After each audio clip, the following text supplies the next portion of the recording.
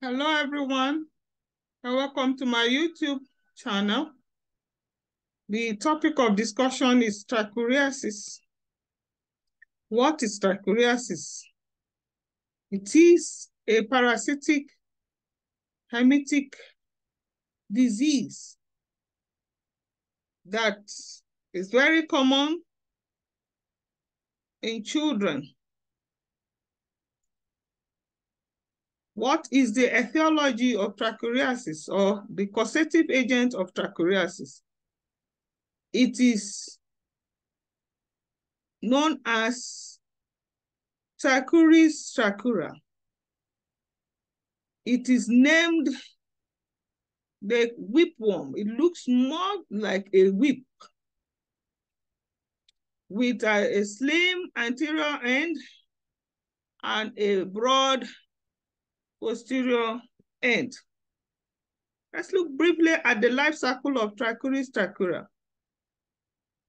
It has a broad posterior section and a thin anterior portion that gives Trichuris the, char the characteristic whip-like shape.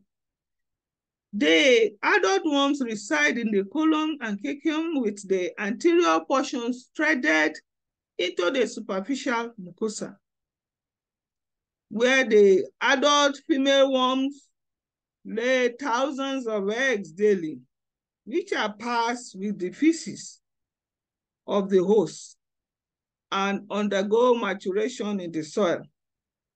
Following ingestion, infective eggs hatch in the duodenum, releasing larvae that mature before migrating to the large bowel. The entire cycle takes about three months, and adult ones may lay, live for several years. Here is the life cycle of Trichuris trichiura the summary is that humans get infected when they eat food, particularly unwashed vegetables contaminated with the embryonated eggs. until the eggs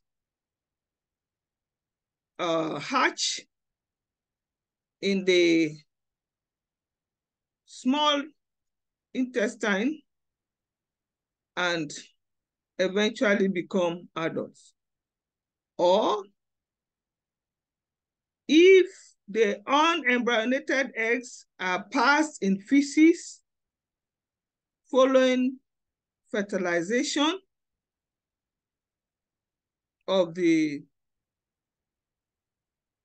eggs of the female, these unembryonated eggs uh, begin, uh, begin maturation. Here you have the two cell stage. Eventually you have the advanced cleavage and then the fully embryonated egg containing the larva, which can be swallowed in contaminated food or unwashed vegetables or even water. Epidemiology of trichuriasis. Poor hygiene is a risk factor for acquiring or contracting trichuriasis. Other risk factors include consumption of fecally contaminated foods, particularly unwashed vegetables, and consumption of shaded moist soil. Children are especially, especially vulnerable to infection due to their high exposure risk. What are the clinical manifestations of trichuriasis?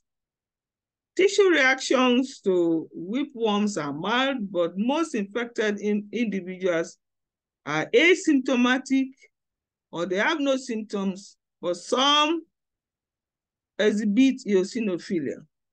Heavy infections may result in abdominal pain, anorexia, and mucoid or what is known as trichuris dysentery or bloody diarrhea. The most important clinical manifestation of trichuriasis is rectal prolapse, where the rectum comes out of the anus. This is due to massive infections in children, and they often suffer from malnutrition and other diarrheal illnesses. Moderately heavy whipworm burdens also contribute to growth retardation. The child appears stunted. Laboratory diagnosis of trichuriasis will involve preparation, wet mount preparation of the stool sample, and the characteristic lemon shell shaped whipworm eggs can be seen. Prevention and control of trichuriasis. Proper disposal of human fecal waste. Then treatment of cases with the azole drugs such as mebendazole or albendazole. These azole drugs are safe and effective for treatment. These are links for further reading. Thank you for listening.